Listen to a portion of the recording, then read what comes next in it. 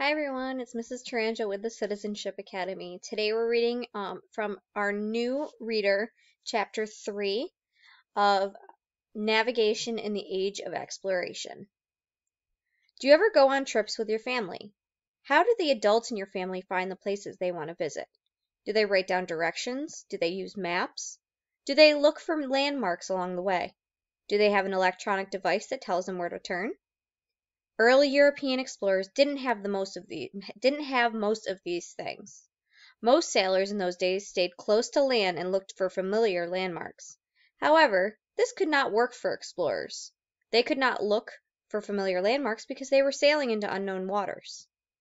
Early explorers did have some maps, but they were not always accurate. So how did the explorers keep track of where they were?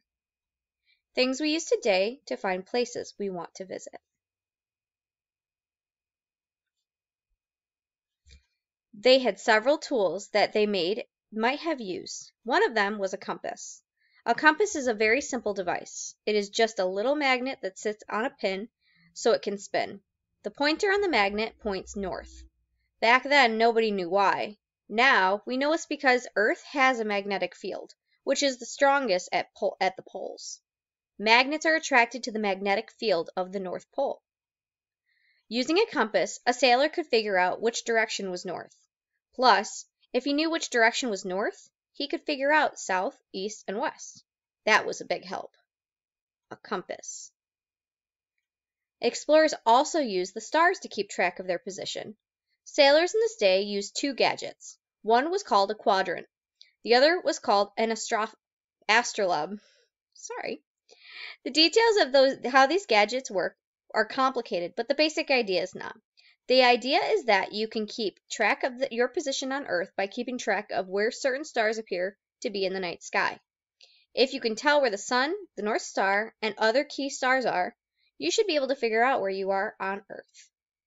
That's an astrolabe. Others may, may have kept track of how far they had traveled using a method called dead reckoning. Here's how dead reckoning worked. A sailor had a piece of wood that was tied to a rope. The rope was knotted uh, at regular intervals. There might be a knot every five feet. The sailor would toss the piece of wood overboard while the, the ship was sailing. When the wood hit the water, the sailor would turn over an hourglass.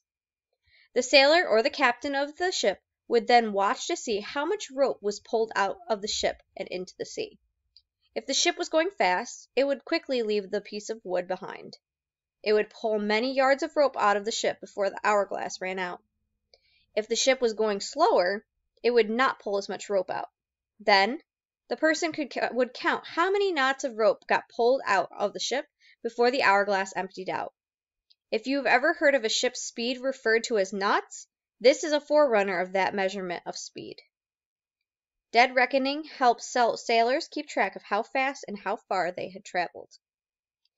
Explorers used many tools to help them navigate. A ship's captain could use dead reckoning to help to make an estimate of how fast the ship was moving. Then he could estimate how far the ship would travel in an hour or a day.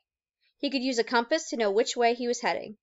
He could put all this together to make an estimate of where he was. So that is the end of our chapter for today, and I will see you guys in my next video. Bye.